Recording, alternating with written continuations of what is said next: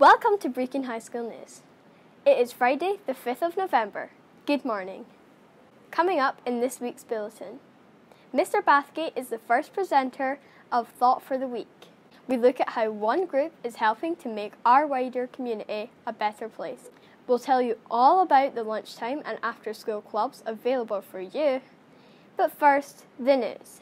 2021 is the 100th anniversary of the Poppy Appeal in Scotland. Brechin High School is playing its part by joining with the buildings across the country to light up red. The janitors have been busy fixing red gels to the downlighters around the outside of the school, and from now until November 14th, the front of the school will be bathed in red light. This is just part of Remembrance 2021 at Brechin High School. On Remembrance Day, you can top up your uniform by wearing something red for the price of a donation to Poppy Scotland. Next Friday's bulletin will feature our Remembrance film, which will include readings and showcase pupils' work on unsung heroes. Next week also sees the launch of Anti Bullying Week. This year's theme is One Kind Word. Bullying can have long lasting effects on mental health.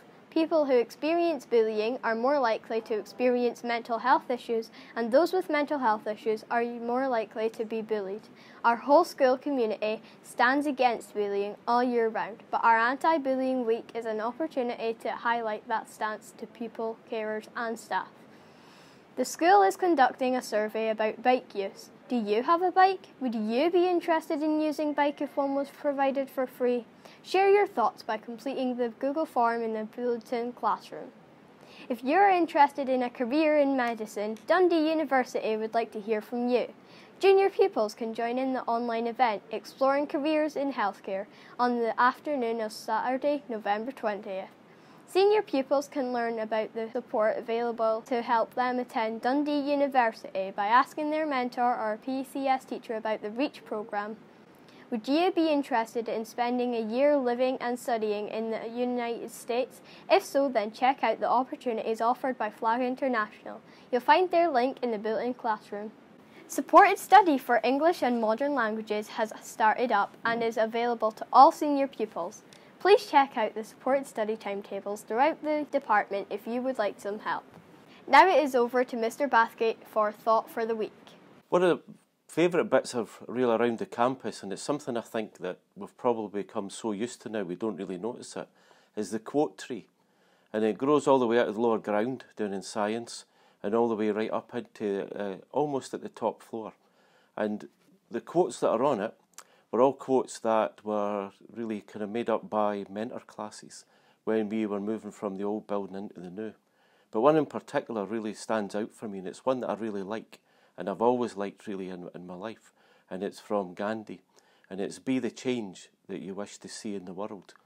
And it's something I think really what it's really saying us is that if you see something that needs to be done, if there's something you would like to be different, then instead of sitting around waiting for somebody else to do it, just get on there and make it different, change it.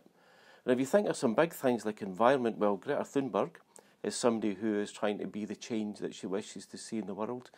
But it's much more than that. People who want to tackle poverty, people who really want to see the world being a better place. Instead of just sitting around, they've got up and they've done something and they've tried to make it different.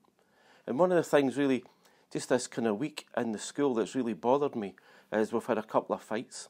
And one of the things that I've, I've kind of really seen is that people just stand around and watch. Some folk film it. And they're not really being the change that they would wish to see in the world. Because I think what we really want to see is we want a place to be nice and calm, a place that's safe for all of us. And if you really want that, then you've really got to step up and be the change.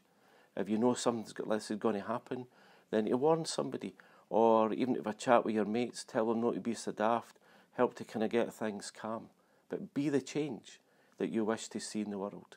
Whether it's something big like Greta Thunberg, or whether it's something here within the school like just trying to kind of make the place nicer and safer. Be the change that you would like to see in the world. Thank you, Mr. Bathgate. Next week we'll hear from Mrs. Wilson. Next up, it's This is Brechin, where we meet the people and organisations that are helping to make Brechin even better. This week, Nathan and Fergus take a look at the work of the Salvation Army. Salvation Army is about saving people and getting their spiritual lives in order. We do a tremendous amount of work, social work, spiritual work, and we're in 132 countries at the moment. Salvation Army started off in 1865, William Booth, the founder, and it was called the Christian Mission then. And in 1869, he changed it to the Salvation Army. And it started in the East End of London, outside a pub called the Blind Beggar, and that's where the work started. He was concerned about all those that were drunk, lying in the streets, and he, his family, he got his family involved to help.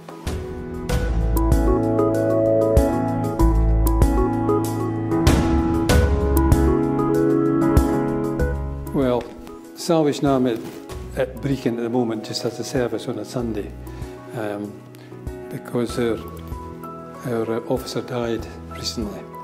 But we still do a good work. Normally we take phone calls in the office when the, the officers here and uh, we encourage people to come to our meetings on a Sunday. There's no restrictions, no, no barrier to, to worship. And um, I myself and my friend Cole, we're involved in the war cry. We sell the war cry every Friday, weather depending, in Montrose. And we do a great deal of work there, speaking to people, and they come and get to know you over the space of time and become your friend if you like. And so that's the type of work we do. We do a lot of social work. Um, but we're soldiers, in other words, we, we're not full timers, but we, we still work and help in the Salvation Army.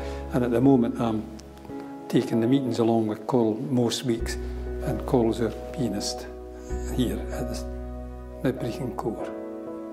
First starting the Salvation Army was in Kirkcaldy, my hometown, and I was brought to the Salvation Army by, by my parents. We were Salvationists, and over the years I learned to, an instrument. I learned to play a cornet, and I still do play the cornet. And I learned to play the piano privately, and uh, the Lord above used me to play the piano to help others in the corps at Kirkcaldy, accompanying the songsters and the sing company. So it's, it's given me a, a, an outlook that I would never have had if I hadn't been involved in the Salvation Army. And so it's part of my life, it becomes part of your life, and every weekend we're on duties. And that's how it's been built up over the years.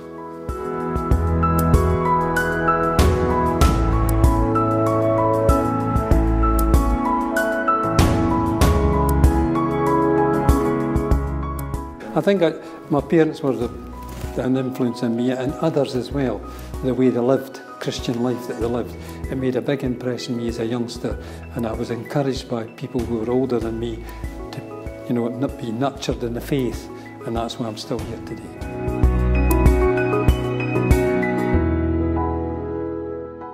This week is Dyslexia Awareness Week. To help us all understand dyslexia a bit more, Dyslexia Scotland have shared this short film. Your brain is amazing, and nobody else has one quite like it. Although everybody's brain looks the same, they all work differently from each other.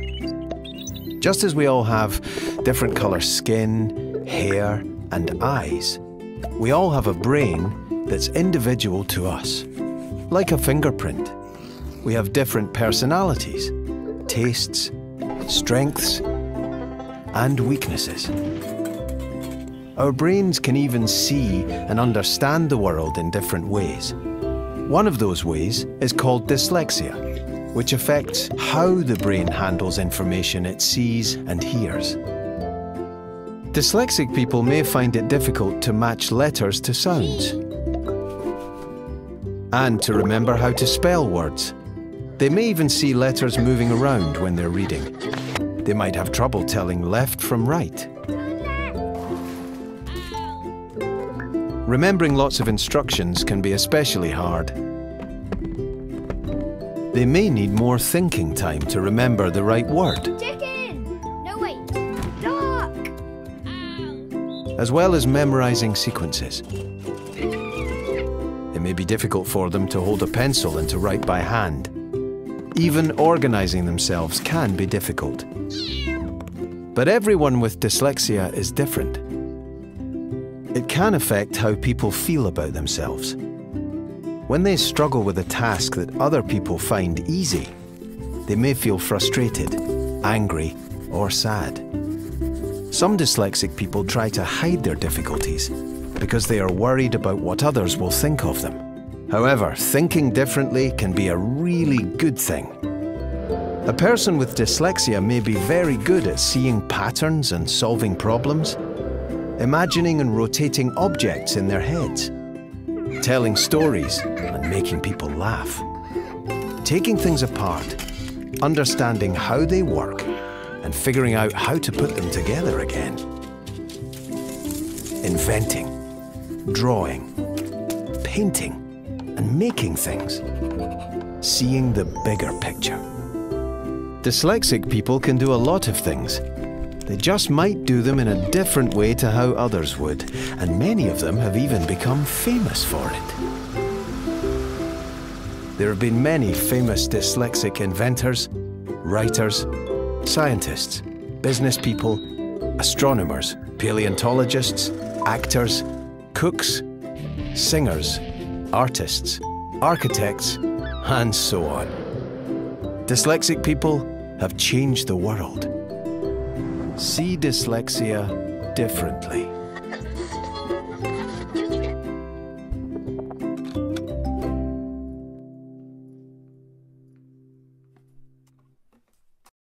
The English department are running a creative writing competition on the theme of remembrance. Entries to be handed in to your English teacher by Tuesday, November 9th. Club Roundup. Lunchtime sports. Monday, netball shooting. Tuesday, table tennis and indoor fives. Thursday, dodgeball and badminton. After school sports. Tuesday, rugby and junior netball. Wednesday, climbing and senior netball. Thursday, indoor football. Friday, girls football and rugby, Strathmore Trust. Library clubs. Monday, comic club and mindfulness colouring. Tuesday, craft club. Wednesday, shape challenge, drawing. Thursday, book club. Lego club, Tuesday lunchtime in L7. Creative writing, Wednesday lunchtime in T2. Finally, a message for staff. If you have anything that you would like to have included in the bulletin, please use the Google form which can be found on the Staff Hub. That's all for this week. Now it's time to hand over to your mentor teacher and this week's work on the United Nations Rights of the Child. We hope that you have enjoyed our first bulletin and we look forward to seeing you next week. Thanks for watching and stay safe this bonfire night.